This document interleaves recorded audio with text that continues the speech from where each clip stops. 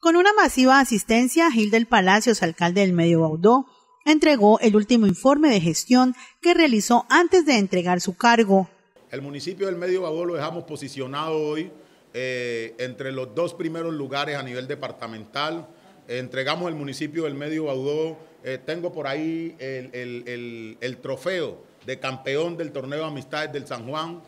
el logro que logramos eh, cosechar por dos años consecutivos, histórico para un municipio de esta parte del departamento logramos dejar el, municipio en el primer ranking a nivel departamental en la medición FURAD, en la medición CIGEP, logramos eh, dejar el municipio como la entidad territorial con mayor esfuerzo fiscal eh, eh, durante este cuatrenio acumulado de este departamento. Vamos a entregar un municipio con habiendo efectuado los pagos de todas las prestaciones y de las contrataciones efectuadas durante estos cuatro años. Hemos avanzado en el pago del pasivo en un número superior al 50% de las obligaciones o deudas que nos encontramos cuando llegamos a Medio Baudó. Yo creo que en medio de nuestros errores y nuestra fortaleza, a Medio Baudó lo estamos dejando bien posicionado. Lo recibimos en el puesto 27 y hoy lo estamos dejando en el segundo puesto a nivel departamental. El alcalde exaltó la labor de todo su equipo de trabajo y destaca también que quedaron tareas por hacer uno de los sectores donde nos quedaron tareas pendientes, a pesar de que nosotros hicimos esfuerzo, hicimos alianza con la Fuerza Pública, con el Ejército de Colombia, hicimos varias brigadas para eh, mejorar y atender a la población, yo eh, acepto que en ese sector eh, nos quedaron grandes retos por cumplir. me aculpa que asumo en calidad de alcalde por ser eh, primera autoridad del municipio, pero me aculpa que sin duda eh, recae de manera especial en el sistema como está confeccionado, eh, unas GPS que, contratan con unas IPS, de esas IPS algunas prestan bien el servicio, otras no tanto, y cuando eso ocurre, incluso aumenta más las responsabilidades de los alcaldes porque cuando la persona se enferma y no tiene eh, el servicio que se lo estén prestando en óptimas condiciones, entonces termina haciendo cola en el despacho del alcalde buscando una ayuda económica para resolver ese problema, cuando en el sistema que estamos hoy, con una cobertura universal, deberían nuestros enfermos y más allá de nuestros enfermos, no solo nuestros enfermos, sino la sociedad en general, contar con actividades de atención, pero también de prevención en materia de salud. En el tema de seguridad, dice Palacios que en su cuatrienio aumentó la confianza para con el municipio. Eh, nuestra estrategia de seguridad estuvo orientada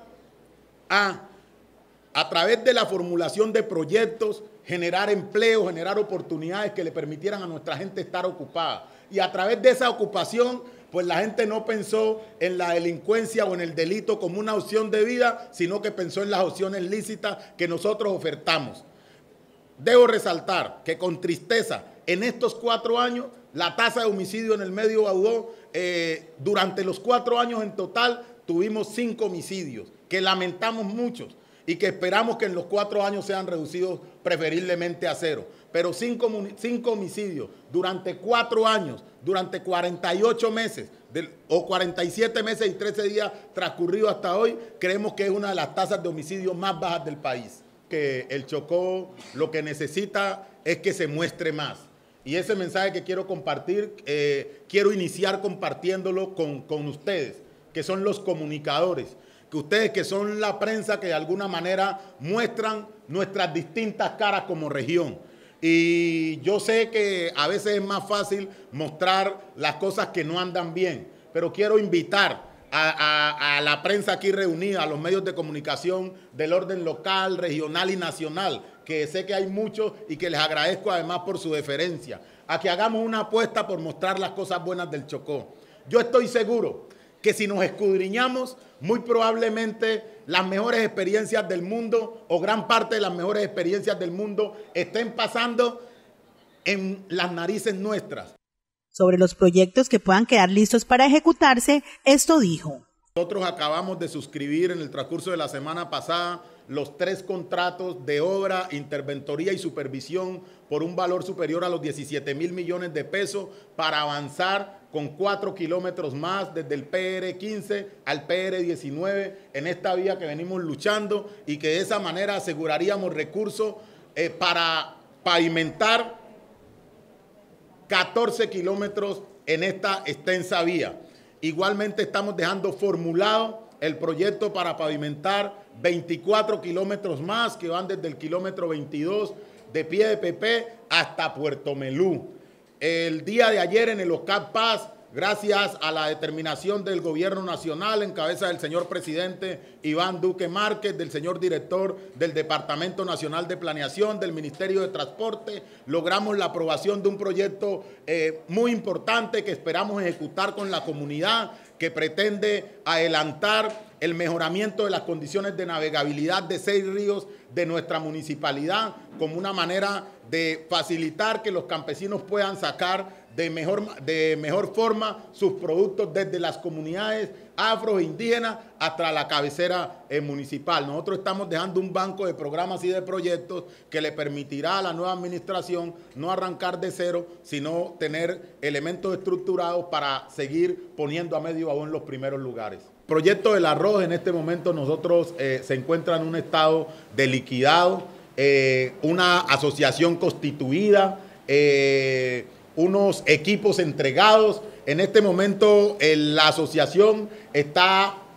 la asociación nació, pero nace como una organización que va creciendo paso a paso, no nace corriendo. Eh, paso a paso ha venido haciendo alianzas estratégicas importantes. Una de las conclusiones que nos quedó en el plan de sostenibilidad en el marco del proyecto y que debemos de reconocer es que nos ha resultado extremadamente costoso traer arroz desde el Bajo Baudó, desde Sibirú, eh, desde el río Campador, donde en el proyecto inicialmente formulado priorizamos beneficiarios. Nos está resultando más costoso traer arroz desde esas zonas para eh, manufacturarlo aquí y empacarlo y comercializarlo que lo que termina siendo el mismo valor del arroz puesto en el comercio. Eso nos ha permitido que tengamos de alguna manera un bajón en la cantidad de eh, productos que estamos llevando a nuestra manufactura. Pero Arroz Baudó está funcionando. Y Arroz Baudó, eh, con la ayuda de Dios, con la ayuda de la gente, lo hemos venido concertando con el nuevo gobierno.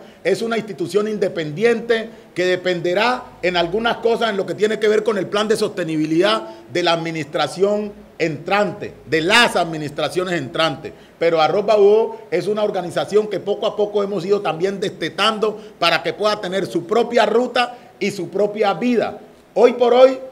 debe estarse estrillando y empacando arroz en Puerto Melú. ¿Qué otra cosa reconocemos? Gracias a la ayuda de ustedes como medio de comunicación, pues entendemos que es más la expectativa que hay de la gente de poder tener el arroz en las tiendas y en el comercio que el arroz que hoy estamos produciendo. Pero yo tengo la certeza que Arroz Diana, cuando arrancó, no producía la misma cantidad de arroz que está produciendo hoy. La esperanza que tengo es que paso a paso sigamos creciendo para que sigamos produciendo arroz en esas zonas productoras tan importantes como en el Alto Baudó, donde sí es rentable producirlo, como en el río Mizará, eh, que aquí hay mucha gente de allá donde sí resulta rentable producirlo, en la zona de los caminos, Río Torreidó, Boca de Pepe y toda esa área de influencia para ver cómo poco a poco vamos copando el mercado, llegando al mercado y ofreciendo ese producto. La línea que queda planteada aquí para la nueva administración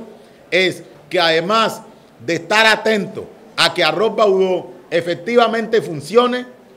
que también pueda sacar adelante el proyecto que ya estamos dejando estructurado de la cadena productiva del plátano. Incluso el sueño grande nuestro como baudoseño ha estado orientado que medio Baudó pueda tener al lado de la industria del arroz una industria de plátano y atrás de la industria del arroz y el plátano una industria produciendo alimento animal, donde podamos recibir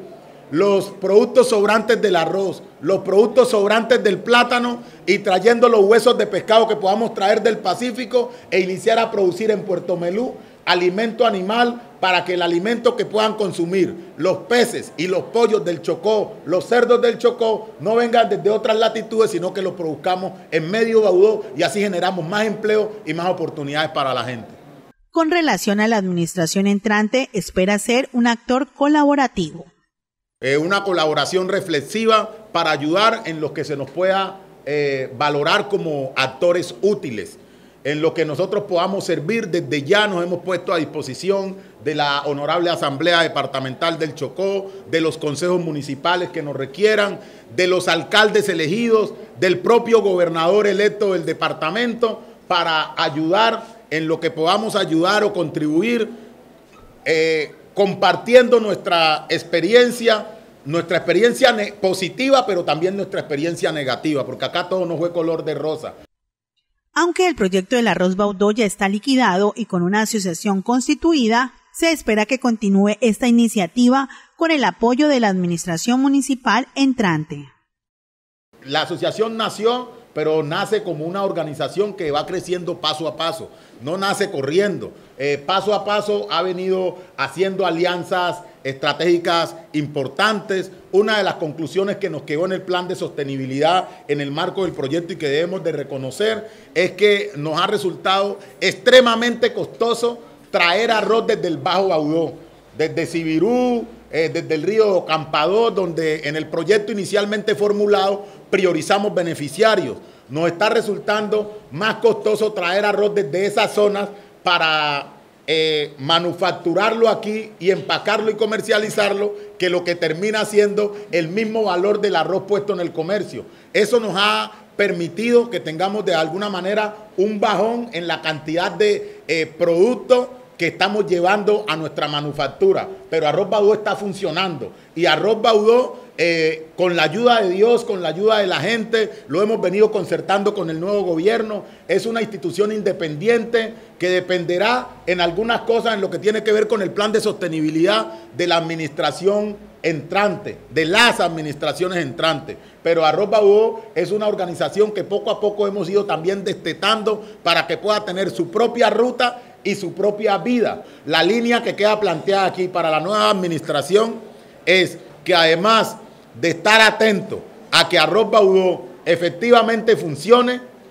que también pueda sacar adelante el proyecto que ya estamos dejando estructurado de la cadena productiva del plátano. Incluso el sueño grande nuestro como baudoseños ha estado orientado que medio Baudó pueda tener al lado de la industria del arroz una industria de plátano y atrás de la industria del arroz y el plátano, una industria produciendo alimento animal, donde podamos recibir